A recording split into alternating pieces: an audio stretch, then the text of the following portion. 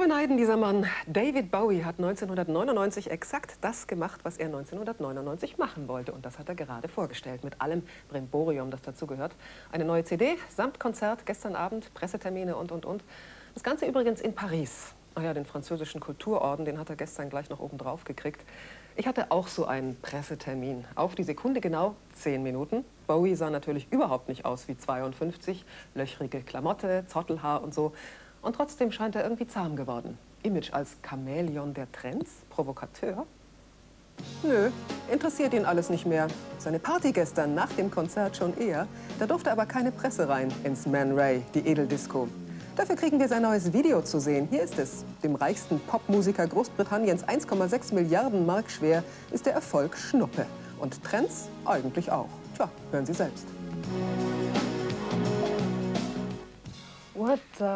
Was für ein Gefühl ist es eigentlich, 31 Jahre am Stück mega Erfolg zu haben?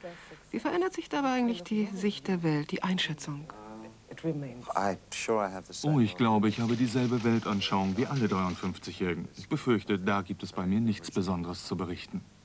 Setzen wir immer wieder Trends. Haben Sie dafür sozusagen schon einen achten Sinn entwickelt?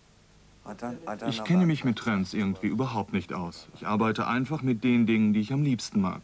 Ich befürchte, die Musik und die Kunst, die mir gefällt, liegt ein wenig außerhalb des Massengeschmacks.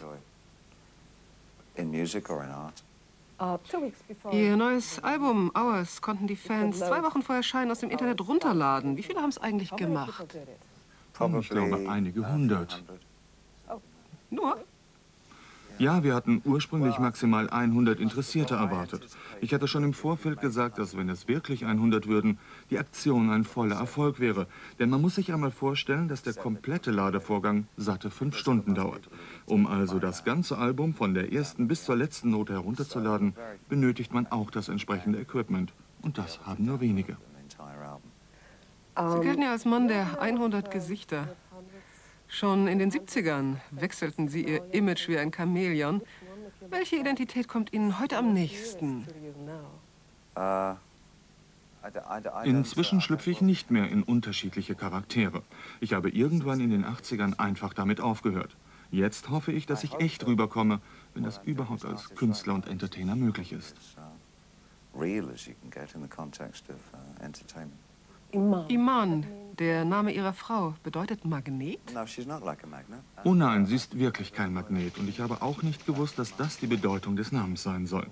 Der Name kommt aus dem Arabischen und heißt einfach eine ganz besondere Persönlichkeit. Man muss wissen, dass sie seit Generationen die erste Frau ist, die ihrer Familie vorsteht. Und das macht sie eben zu einer besonderen Persönlichkeit. Sie kennen vielleicht den deutschen Schriftsteller Hermann Hesse. Der schrieb mal folgende Zeilen. Der Vogel kämpft sich aus dem Ei. Das Ei ist die Welt. Wer geboren werden will, muss eine Welt zerstören. Danke, dass ich diesen Gedanken mit Ihnen teilen darf.